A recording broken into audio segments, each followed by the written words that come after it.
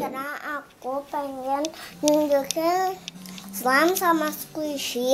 Jadi kemarin aku ke mall Taman Anggrek. Sekarang aku pengen nunjukin squishy